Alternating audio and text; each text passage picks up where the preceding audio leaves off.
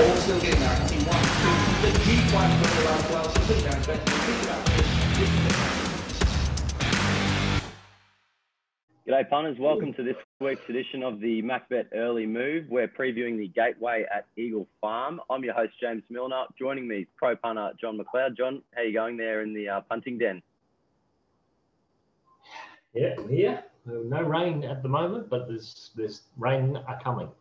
It's exciting. Eagle Farm's back after a bit of bit of time off. We'll talk about last weekend first. Hard Empire, nice bet there. Um, I know you recapped it last week, uh, sorry, on Monday in your weekly uh, Powerhouse Runners video, but six dollars fifty available. You were you're up against Profit, which was uh, not Profit, sorry, Jonker, which was very popular. Um, you happy with the race? How the race panned out? Yeah, it seemed like it, it was working out perfect. Um, even on the day, we were suggesting that it was possibly going to be charging into the wind down those leaders, and that was going to make it a bit easier for a Hard Empire to get home. So you know the the, the track played beautifully for it, and um, Jonker went a lot went better than than I had it originally. Um, I sure. sort of was thinking that the uh, it may have been the wind assisted the other day, but I, I don't think I've re-looked at it, and uh, I think he's you know he's gone nearly as good as what he did that first day, if not you know. So as horses flying, it's just the way the track was playing just was against it a bit. Um, it helped Hard Empire, so we got away with a little bit of luck that day. So sure, good. so he might be the real deal there, Jonker. Um, this weekend at Eagle Farm, there's a nine race card. The rails in the four metre position uh, track ratings currently is soft five. You mentioned some rain. What do you think the track's going to do? Well, if the track handles, you know, the rain uh, as far as the wet goes, but it's going to make the inside part of the track um, go off, and mid-track is going to be the place to be. I would say, you know, they, especially if we get a fair bit of rain, um, you know, they're they're thinking. I think it was between five and twenty-five mils or something like that. So it's uh, it just really all depends on how much comes. Um, but I, I really think this Eagle Farm track's a real momentum type of track at the moment. You know, it was a bit like what it was last time before the renovation. It was more, you know, you had to get moving and, uh, yep. and get up there and, and or get moving before the corner and try to hold your hold your momentum sort of thing. And you really need fit, strong horses. So if this rain comes, I think you're going to definitely need you know, if they're 1200 meter races, you probably need a 1350, 1400 meter horse to, uh, you know, to really be strong over that distance. So for sure, look for look for those sort of horses that not you don't want to be on thousand meter horses trying for the 1200 first time. You know, that, that's get that's get found out. Yeah. Yeah. Right. Now I don't know all the details about what they did at Eagle Farm there, but do you know what they've sort of done to the track? I know they've given it a refurb, but I, I, think they just gave it a rest and just tried to, you know, just liven it up. Um, yep. I hear that there was a bit of sand on the track, which you know was surprising. Um, you know, we don't want that, but um, maybe um, that might have been that was a couple of weeks ago, or two or three weeks ago. I heard that, so hopefully it'll be all good. Um, but you know, the, the, track does play really well with the uh, with the rain. Know, it's not as if it becomes a bog. It just uh, it, it becomes a a bias type of track. You just got to get into the right positions. Yeah, definitely drains well that one. Uh, we'll have a look at this weekend the Gateway over the 1400 metres at race eight at Eagle Farm. We'll start with profit, currently $2.30 in the market. Came from back in the field for some Rhino prize money behind the Harrovian. Uh, it's an Anderson runner there with McGillivray engaged. What do you think about this one? I know you've been against it in the past.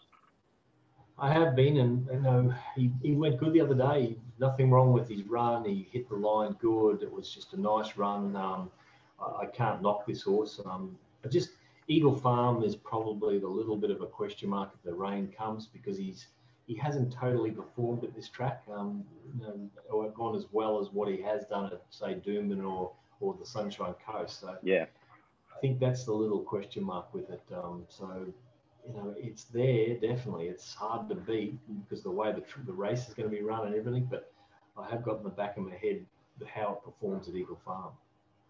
All right, another one in the market. There's Panyagua, six dollars fifty. Very, very popular with the punters, looking for nine wins in a row. What do you think about this one? I think the class will find it out here. You know, it it, um, it raced in that country meet the other day, and he looked big, nice, strong horse. You know, powerful horse. Um, Uh, but I think you know this is a different class or different kettle of fish here. Racing these horses, um, level weights and everything. It's just um, it's a big difference. This is a race that's uh, the winner of this is um, goes into the Stradbroke. Um, yeah. Sort of like uh, so.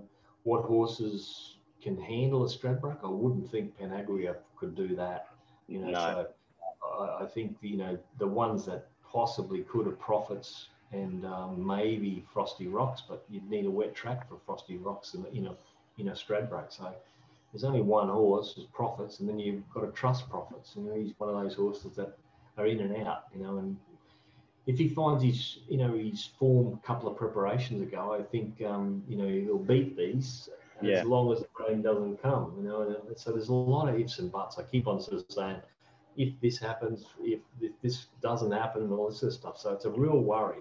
Um, the The way beauty uh, of doing our doing our video on a Thursday, you sort of need to make a call now and try and Yeah. hope that it's still true on the day. And yeah, you don't want to sit in your hands because yeah, no one likes yeah. that either. But last week you sort of you steered us into hard empire, but you were a bit unsure on the day. You were keen enough, so it was good. But yeah, um, I, I see your top pick today uh, on Saturday is Frosty Rocks. It's two dollars thirty at the moment. Uh, Bjorn Baker, Galloper, Glen Boss engages. Are you keen on it at all from Sydney? Oh, He's going to be hard to beat, but again, there's a possibility that Master Jamie might get up there and annoy it. You know, he's a 1200 metre horse going to 1400, but, but he has got Michael Rodd on it, who's a pretty quiet jockey, so he's not going to be coming out revving. Um, but if if Frosty Rocks does get annoyed a little bit by Master Master Jamie, which you know he's not going to give it softly to him, um, well then I would sort of definitely veer towards profits or Petey, you know. But Okay. if he does leave him alone, well then uh, that's that's the question mark of you know he might kick. He's going to head, have to head out to that right part of the track as well. He's going to have to get away from that inside part.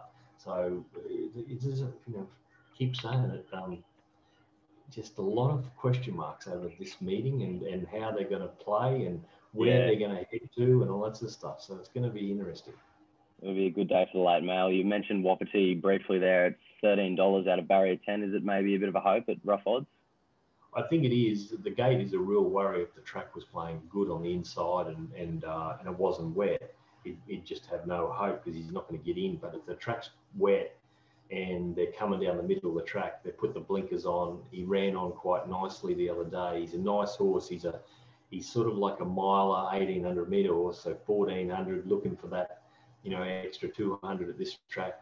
He's the perfect uh, type of horse. So sure. he's the blowout. Um, you know, I, I can uh, if I if I bet in this race and the rain comes, I'll be definitely throwing something on it. That's for sure. I like this. I like the horse. I, I he, he, he lightened off last preparation. He still kept on winning. This trainer's a good trainer. He's um, you know they he has him fit enough, fresh, and uh, I think um, he'll race well. He'll race well. And for the punters at home, top selection, stick your neck out. Imagine nothing changes between now and Saturday and everything goes to plan. Uh, what would you be backing? Just a small bet on Wapiti or something else? I'd be I'd be probably backing profits and Wapiti, both of those, Yeah. and hoping that Master Jamie puts puts enough pressure on Frosty Rocks. And Frosty Rocks, I think, has got the um, hoof filler on in on too. You know, so there's he's got problems with his feet, and uh, Yep. you know the wet track is going to help it. So there's just a few little things about Frosty Rocks that I'm worried about. You know, he's by your song, which who love the wet. Um, Yep. So you know, just I- I'd probably rather go profits and Wapiti to beat Frosty Rocks. I'd say. Okay. Looks a cracking race. There's been some really good big races. It's a great time of year. Everyone's having Christmas parties and, you know, getting on the drink and getting out. So really good. And we're looking forward to Magic Millions as well. Anything else from you, John, at all? No, just have, have a look at that new yard thing we're going. I think um, Yeah. you know it looks good, the right thing. It, it seems to be the right type of thing we're going to start doing now instead of the audio. The audio is still going to happen. We're going to send it out on horses that, uh, or when the track's playing a certain way, or something's happened, the winds is there, or we're going to send audios out. But we're going to use the yard thing with all our prices and the art comments in there as replacement of the audio race Yeah. by race. It's going to have your Yeah. units and all that stuff as well. So it's Good. I, I think I think it's a good way forward. Saves you a bit of time, and yeah, we can get the units written out, and, and you get the rated prices as well now sent before each race, and then there's also that comments box, and if they're sweating up or if they look small, um, it'll tell you. And naturally, not everyone, um, not everyone can sort of look at their phone or listen to their phone every every half an hour, especially on a Wednesday. Some of us have normal jobs. We can't be can't be ripping the phone out every 30 minutes to listen um, listen to the tips. So Yeah. um, Yeah, I think that's a much better go there. Yeah, it's, I think it'll, I think it'll work well. Work well on Wednesday. We didn't find too many winners, but it was. Uh, I think it, it will be able to do something uh, going forward. That's for sure. Too good. And we'll have uh, the weekly results posted up on Thursday as well. We had a pretty good day Saturday, picked up sort of 20, 30 odd units. Um, but yeah, we'll have that up on our Twitter like we do each week. But uh, apart from that, John, thanks for your time and good luck Saturday. You, thanks, James. See you everyone. Cheers.